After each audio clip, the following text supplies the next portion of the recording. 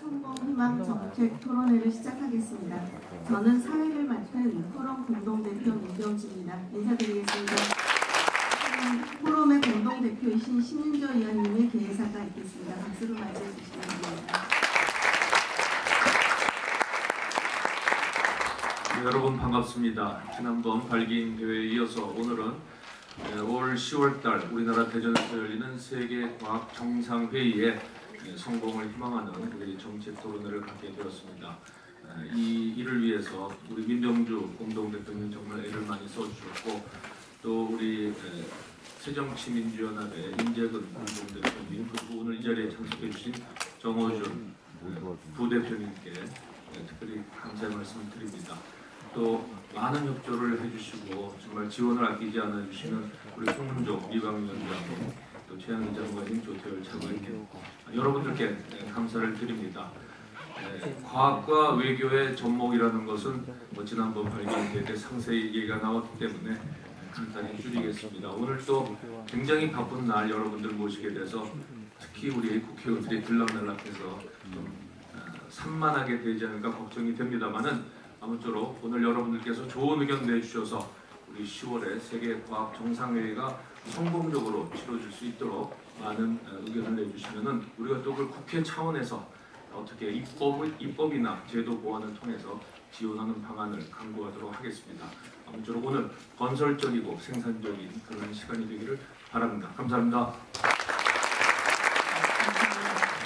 포럼의 공동부대표이신 정호준 의원님께서 환영사를 해주시겠습니다. 박수로 맞이해 주십시오.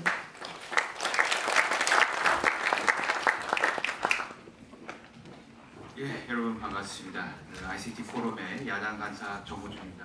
와주신 많은 분들 어, 감사드립니다.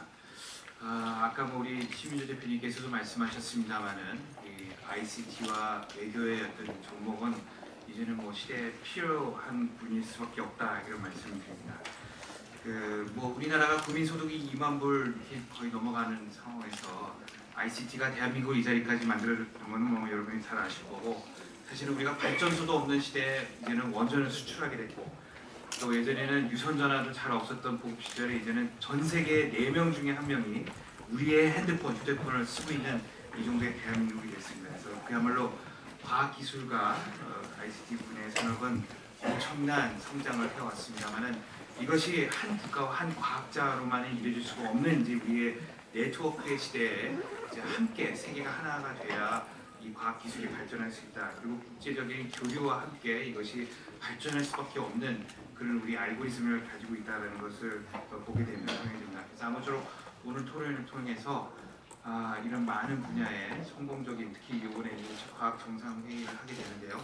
아, 그것의 또 어, 발전을 그리고 그 개체를 잘 만들어낸 밑거름이 되기를 기원하면서 제 인사 말씀을 가름하겠습니다. 고맙습니다.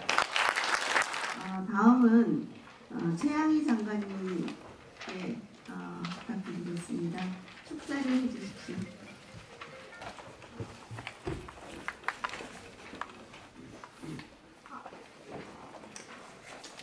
순서가 좀 틀린 것 같지만 뭐 불러서 나왔습니다.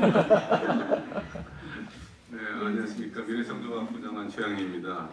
어, 오늘 두 번째 포럼을 국회에서 개최하게 된 것을 어, 매우 기쁘게 생각하고 오늘 어, 좋은 토론이 있어서 과학기술 ICT와 외교와의 협력 어, 좀더 정진이 되어서 여러 가지 관련된 어, 제도와 어, 법이 개선이 되고 그 결과 한국의 과학기술이 전 세계에 좀 더 영향력 있고 또 우리나라가 좀 더 과학 외교에서 큰 자리매김을 할 수 있도록 기원하는 바입니다. 어, 특히 오늘 바쁘신 가운데도 어, 어, 그 자리에 해주신 여러 의원님들, 또 기관장들, 또 자문위원들 감사드리겠습니다. 시간 관계상 제가 일일이 열거는 드리지 않겠습니다. 어, 아까 말씀이 있었지만은 어, 여러 가지 유교적 노력과 과학기술계의 염원을 담아서 어, 지난번 중동에서는 원전, 어, 또 연구용 원전, 또 유럽에 많은 수출 사례가 좀 성공적으로 이루어져 있었고 어, 얼마 전 이제 중남미 갔을 때도 뭐, 어, 과학기술 관계로 해서 칠레, 브라질, 어, 콜롬비아, 페루 이런 나라에서 많은 진전이 있었습니다. 뭐 특히 소프트웨어의 진출이라든가 또 천문 어, 어, 관측 관련 협정이라든가 아, 또 또는 교육 관련 우리나라의 솔루션 진출라든가 이런 모든 것들이 과학기술 ICT의 우리나라 위상을 반증하는 것인데 그 저변에는 아, 관련된 뭐 코트라라든가 관련된 외교 당국 또는 과학자들 또 기업가들의 많은 노력이 결합해서 이루어졌다고 보고 있습니다.